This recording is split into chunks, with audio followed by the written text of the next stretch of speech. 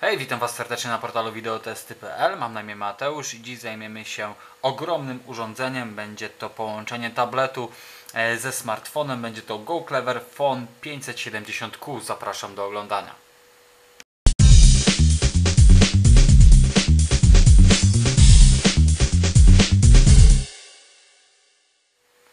Wiele ostatnio mówi się o nazewnictwie takich mm, urządzeń. E, m, Są też em, nazwy Phablet, czy Fablet, czy jak to się mm, tam można powiedzieć nazywa. No przyjmijmy, że to jeszcze jest jednak smartfon. Bardzo duży, ale jednak smartfon. Em, Jestem daleko, daleki od e, tych takich można powiedzieć typowo angielskich, mm, anglojęzycznych e, znaczeń typu Phablet czy Fablet. Moim zdaniem to e, bardziej mm, e, tapfon, e, czy smartfon, czy, czy, czy właśnie smart e, tab. E, Chyba to chyba najlepsza nazwa na tego typu urządzenia. A czemu? E, ponieważ ten mm, smartfon em, posiada ekran o przekątnej 5-7 cali, czyli można powiedzieć, że już jest naprawdę e, spory. Ja już mam mm, e, dość duży kłopot e, z nawigowaniem na tym urządzeniu. E, no ale może zanim zaczniemy naszą recenzję, zobaczymy co nasz e, Go Clever ma w pudełeczku. Tak jak widzicie, tak to mniej więcej wygląda. Z tyłu mamy specyfikację, ale do niej sobie jeszcze oczywiście dojdziemy.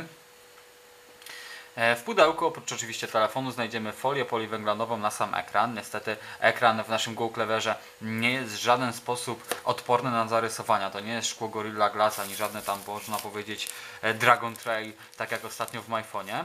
Znajdziemy kabel do komputera, ładowarkę,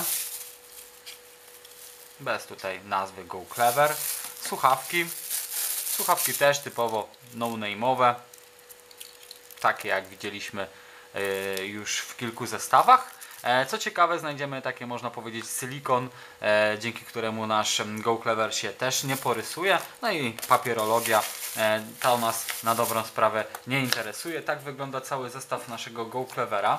No a teraz może zajmijmy się samym telefonem.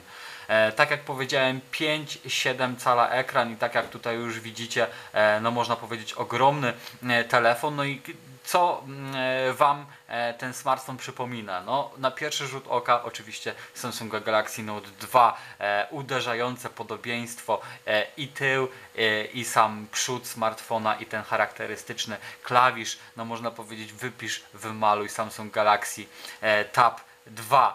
E, Jeżeli chodzi o samą obudowę, e, wykonane w całości z plastiku, aczkolwiek należycie dość e, spasowanym, nie znajdziemy tutaj żadnych, nie usłyszymy żadnych pisków, skrzypień, no może tutaj troszeczkę u góry ta klapka zaczyna się też ruszać, ale to też jest smartfon tutaj testowy, dostałem go po innych, można powiedzieć, testerach. Po prawej stronie znajdziemy przycisk od odblokowywania ekranu, włączania i wyłączania.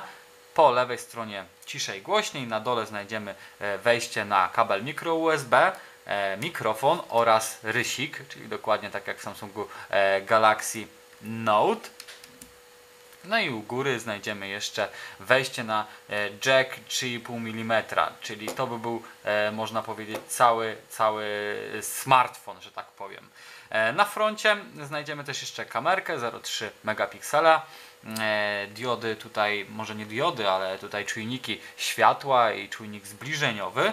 Jeszcze może z tyłu e, kamerka, tutaj producent podaje na pudełku, że to jest 8 megapikseli, ale tak naprawdę to nie jest 8, to jest 5 megapikseli. No nie, 5 megapikseli dokładnie. E, tak, z diodą doświetlającą LED. No i tutaj mamy jeszcze napis Glow Clever i maskownicę do samego głośnika. Tak mniej więcej e, wyglądałby Go Clever mm, 5 570Q. Może zobaczmy e, jak działa nasz Go Clever. E, Może zacznijmy też od samej specyfikacji. Mamy tutaj czterordzeniowca, m, czterorodzeniowy procesor Mediateka MTK 6589 e, o taktowaniu 1,2 GHz e, oparty na Cortexie A7, do tego 1 GB pamięci RAM oraz e, procesor graficzny PowerVR SGX 544, czyli zestaw e, dość przyzwoity, aczkolwiek szału jakiegoś można powiedzieć robiącego szału robiącego nie ma, że tak powiem, bo wydajnością można powiedzieć aż tak ten smartfon nie grzeszy. E, warto przyjrzeć się samemu ekranowi. Mamy tutaj rozdzielczość 720p, czyli 1280 na 720 pikseli i można powiedzieć, że e, bardzo, bardzo przyzwoicie e, świeci. Jest to ekran IPS-owy, właśnie o przekątnej 5,7 cala. No i naprawdę kąty widzenia są nie najgorsze. Wyraźność tych wszystkich ikonek też raczej tutaj nie, nie, nie stwarza jakichś problemów w dojrzeniu, w jakichś, no, można powiedzieć, dziwnych pikselach i tak dalej. E, Wszystko wyświetla się bardzo, bardzo przyzwoicie i to jest moim zdaniem jeden z plusów urządzenia, gdzie przy tak właśnie dużym ekranie ponad 5-calowym e, zastosowano tą rozdzielczość, e, no i ten ekran IPS-owy nieźle, nieźle to wygląda. E, System operacyjny mamy tutaj Androida 4.2.1 Jelly Bean, czyli w miarę świeży system. E, Można powiedzieć bez żadnej nakładki producenta. E, Mamy tutaj niemal czystego Androida. Jeżeli chodzi o widgety, też nic tutaj jakoś tam specjalnie nie dodano. Aplikacje, tak jak tutaj widzicie, mamy tutaj mm, jakiś notatnik. Sklep Go Clever na przykład, latarkę, File Manager, Documents to Go. E, Ja już tutaj kilka mm, zainstalowałem rzeczy. E, No i to wszystko. Można powiedzieć, że e, tutaj Go Clever się jakoś tam specjalnie też jakoś nie postarał. A co najbardziej mnie zabolało, no to oczywiście po wyjęciu tego rysika, no nie mamy absolutnie żadnych tutaj aplikacji tutaj wspierających ten rysik. Ten rysik po prostu można powiedzieć jest, bo jest, możemy sobie z niego korzystać. Nawet ten e, notatnik, który tutaj jest e, dodany do samego mm, systemu, no nie wspiera, nie wspiera tutaj e, pisania, czyli musimy sobie takie aplikacje doinstalować przy pierwszym użytkowaniu mm, przy pierwszym użyciu tego smartfona rysik jakiś taki można powiedzieć staje się bezużyteczny. E, przy okazji też Wam pokażę jeszcze klawiatura, bo jest dość, klawiaturę, bo jest dość ciekawa. Oczywiście w trybie horyzontalnym pojawia nam się klawiatura QWERTY, ale podzielona na dwie części, czyli normalnie piszemy prawą i lewą ręką e, według normalnych tutaj liter, a w środku mamy cyfry. Wydaje mi się, że to jest dość dobre rozwiązanie, e, jeżeli chodzi o tak duży ekran. E, Dobrze, może przejdźmy do samego internetu. Wejdźmy sobie na stronę wideotesty.pl. Percepcja na dotyk, na dotyk jest e, poprawna. Raczej trafiamy we wszystkie klawisze. Strona wczytła, wczytała się dość szybko, ale jak tu tutaj widzicie, już są małe problemy z samym nawigowaniem. Nieduże, bo nieduże, ale są. Może wejdźmy na jakąś stronę, może wejdźmy jeszcze w jakiegoś linka.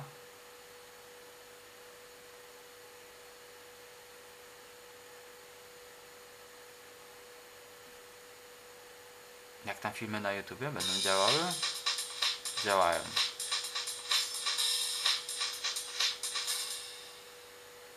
Witam Was na wideotesty.pl, moi drodzy, z tej strony Słabo, bo słabo, ale, ale, ale działają, że tak powiem. Wejdźmy może jeszcze na stronę mini, zobaczymy e, jak na takiej zwykłej stronie mobilnej smartfon sobie radzi.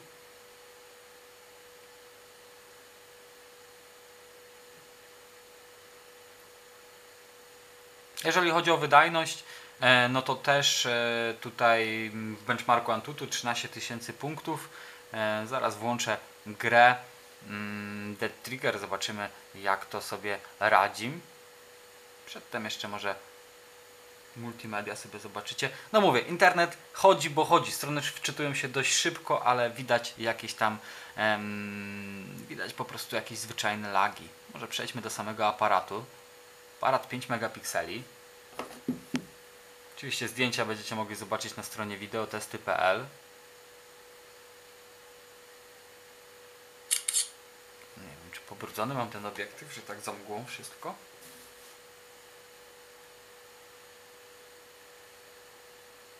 Więc niestety smartfon nie nagrywa też filmów w rozdzielczości HD.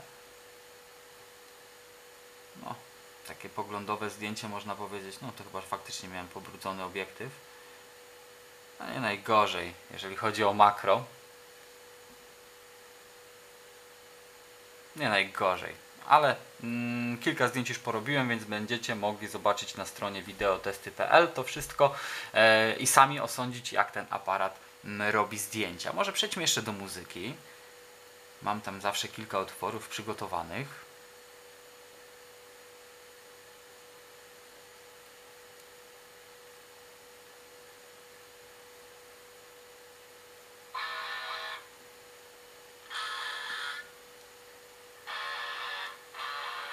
Bardzo cichutko gra smartfonik, bardzo. Ale nie najgorzej, jeżeli chodzi o czystość dźwięku. O basach możemy raczej zapomnieć.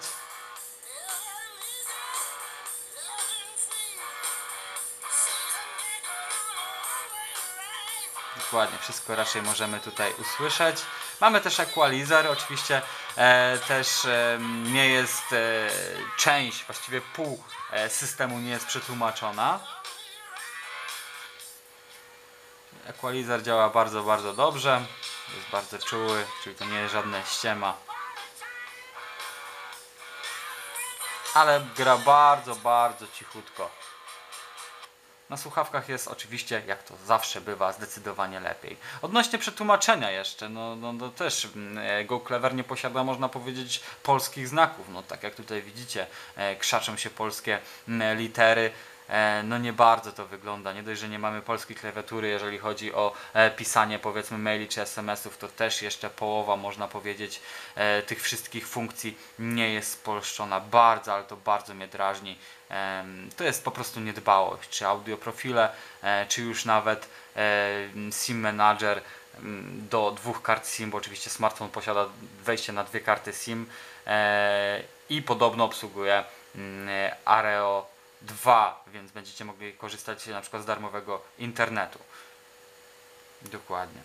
Czyli, no mówię, część opcji nie jest jakoś tam specjalnie przetłumaczona. Dobrze, może jeszcze włączmy grę, albo może jeszcze o wydajności coś. E, włączymy.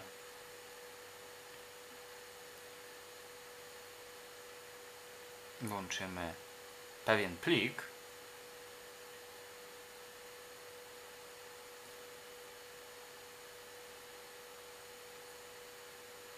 Trzysta stron, e, 5-megowy plik w Wordzie. No i zobaczymy jak to, jak to wchodzi. Na razie się wczytuje.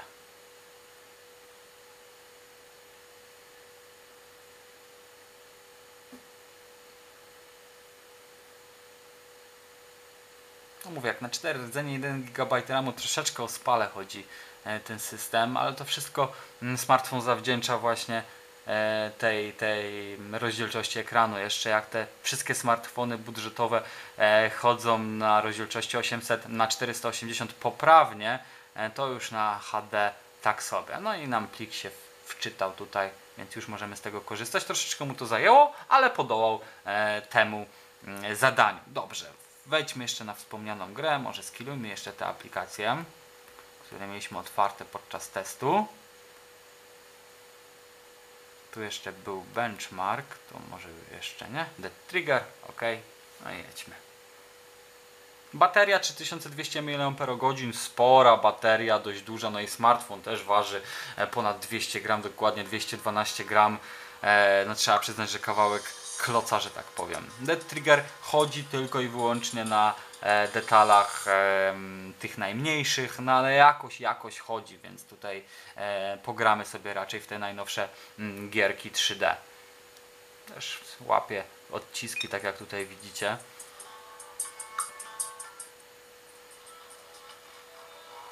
Może chwilę sobie pograjmy, zobaczmy jak ta gra będzie chodziła. Oczywiście smartfon też ma 4 GB wbudowanej pamięci. E, niestety, niestety podzielono to na partycje. Giga idzie na aplikacje, 1,5 giga idzie na jakieś muzyki, na jakieś filmy. Z tego mamy, można powiedzieć, e, no bardzo, bardzo, bardzo, bardzo mało tej pamięci. Oczywiście e, smartfon posiada slot na kartę pamięci do 32 GB. No i tam będziemy mogli sobie em, to tą pamięć powiększyć.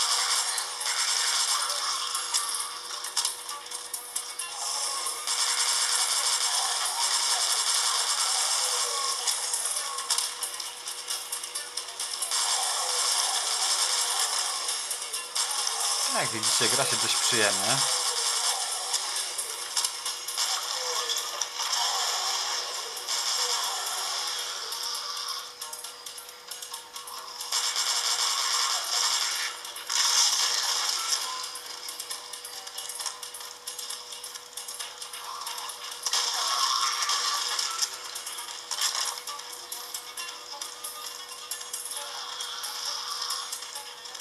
ekran jest dość czuły na, na, na tak jak powiedziałem, na percepcję, ale w tej grze jednak czasami zdarzają się jakieś dziwne rzeczy, że, że, że nie chwyci po prostu. Jeżeli wiecie co mam na myśli.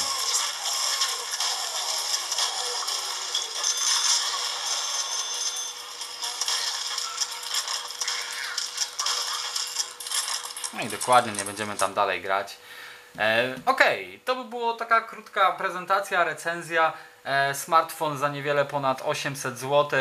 Mm, e, można powiedzieć kopia Note'a 2, jednak dużo, dużo, dużo brakuje. Plusy to oczywiście ekran, e, dość duży IPS-owy o dobrej rozdzielczości. E, No i to jest właściwie tylko jedyny plus. Em, System operacyjny też 4.2.1, czyli w miarę w miarę świeży. E, No minusy, no zero jakiejś innowacyjności, no brak wsparcia dla rysika, nieprzetłumaczone e, menu, dość słabe multimedia, e, przeciętna wydajność, mało pamięci e, wbudowanej, więc em, na plus też jeszcze bateria 3200 mAh.